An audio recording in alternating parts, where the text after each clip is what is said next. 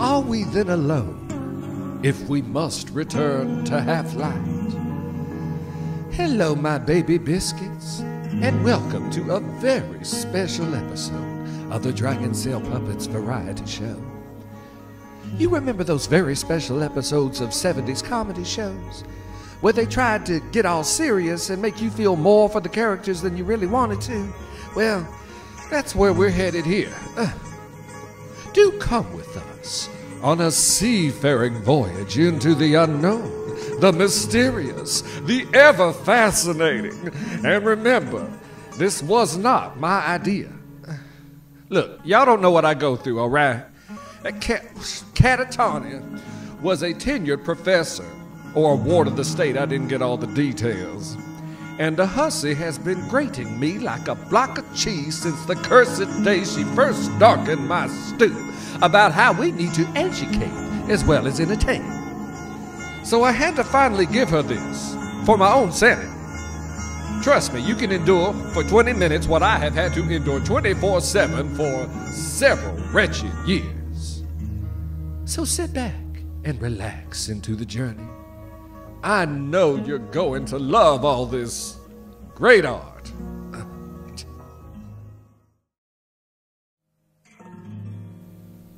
Let it first be understood that I claim no discoveries. it is the maddest of all who go to sea. What could we hope to discover and transmit to the landbound? Perhaps news of the terra incognita, the ghost continent we each and every one bear within ourselves. Who would trust our reports of the strange shapes interior to the ice floes? Fringe events shrouded in mist and magic, what demon would whisper to us of the truth beyond the filmy screen and distortions of memory? what was whispered to Odysseus long ago?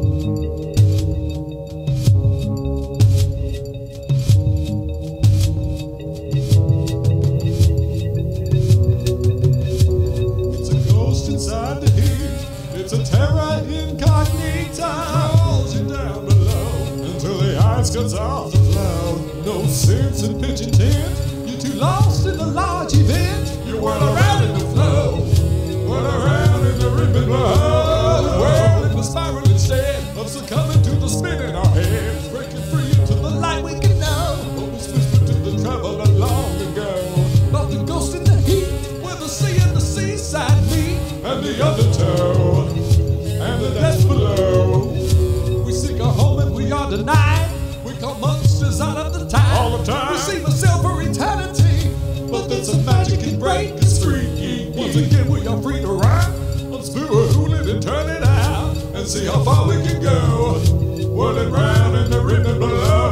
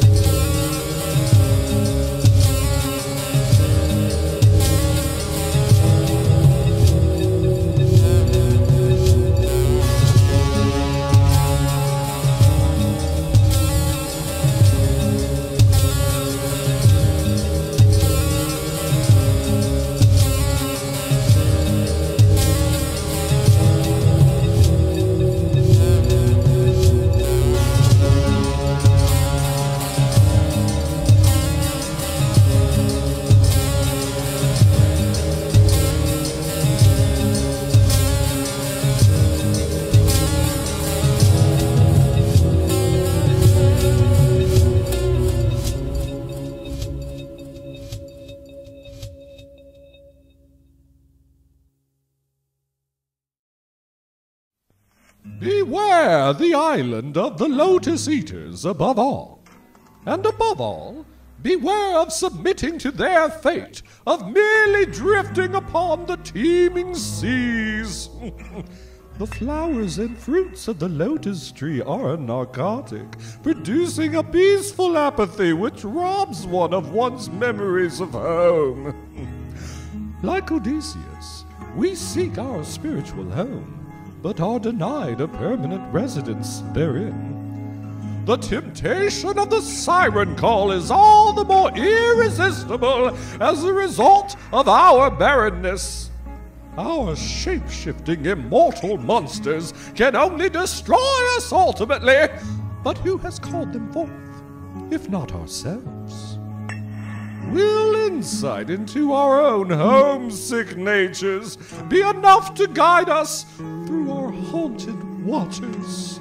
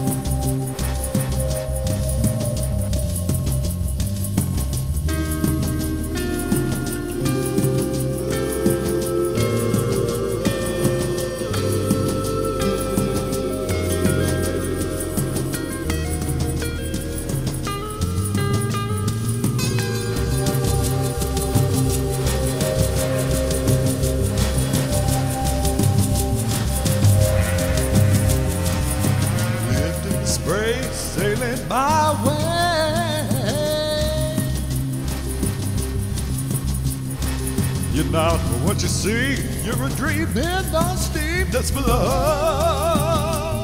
away. Why do you say after all? Just a ride on the waves, feel the rise and fall. Long before you embarked, you had already heard the call.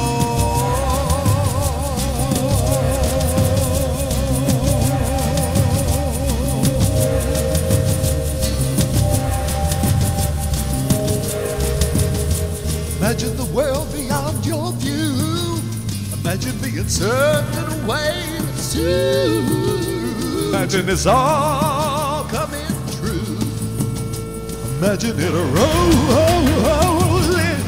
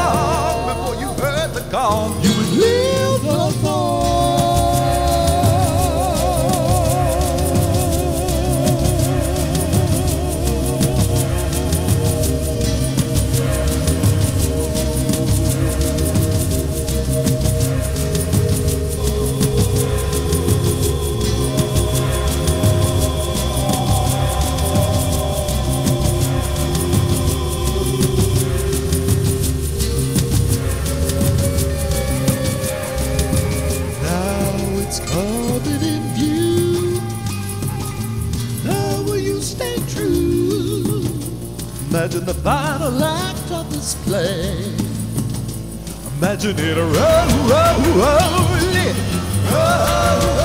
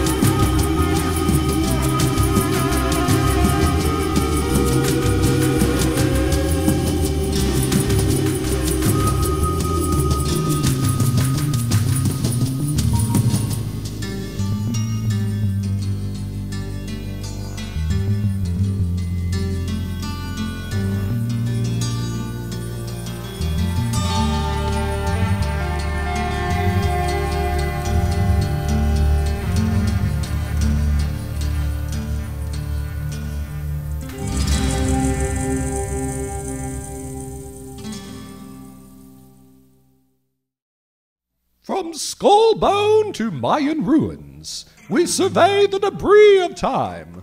But will these imposing fragments, decaying gateways, and recessed galleys be instructive? Will shipwreck, profoundest solitude, and the narrow escape of monsters and bewitching goddesses produce within us the wind chart within the heart that was Odysseus' birthright? The cool words of Circe, the mystical sorceress, to Odysseus haunt us still. There is a mind in you no magic will work upon. On one hand, such sobriety can make us the impervious masters of our fates, the designers of our own passages of escape from the malevolent tricksters that wouldst beset us on our voyages. Or it may lay us dry and bare upon a shore as desolate and laced with the bones of the dead as that which Odysseus himself barely escaped in skirting the Isle of the Sirens. Have we missed the destination in our avoidance of this complicated life's myriad intoxications?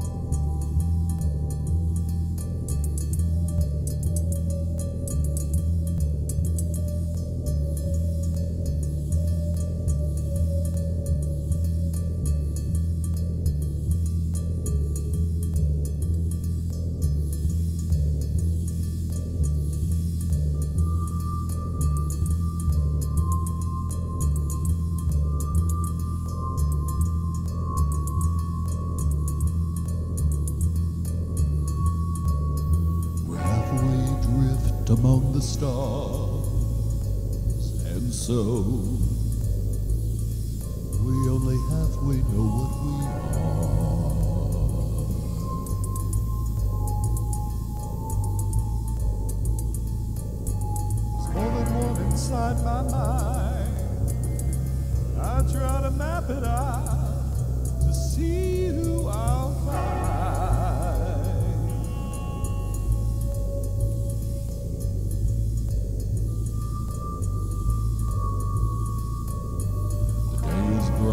blind. It's by my design